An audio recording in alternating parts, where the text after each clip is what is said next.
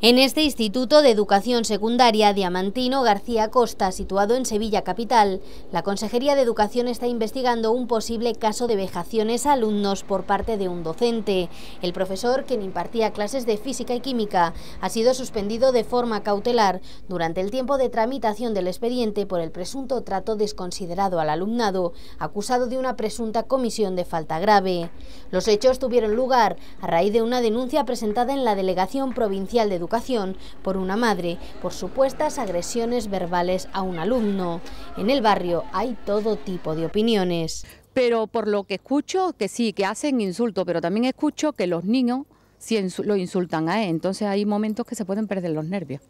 Y más en un colegio de este tipo que lo que se está intentando es hacer integración y además la delegación nos está mandando a muchísimos niños problemáticos al centro eso, que insultaba, trataba mal a los compañeros, hacía de estos gestores del racismo.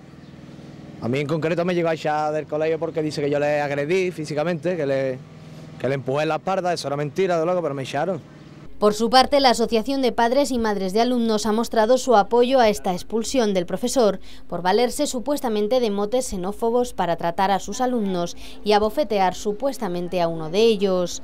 Según adelantó el Correo de Andalucía, la Delegación de Educación le abrió expediente cuando abofeteó a un joven de 15 años hace dos semanas y le adjuntó la denuncia de otra alumna.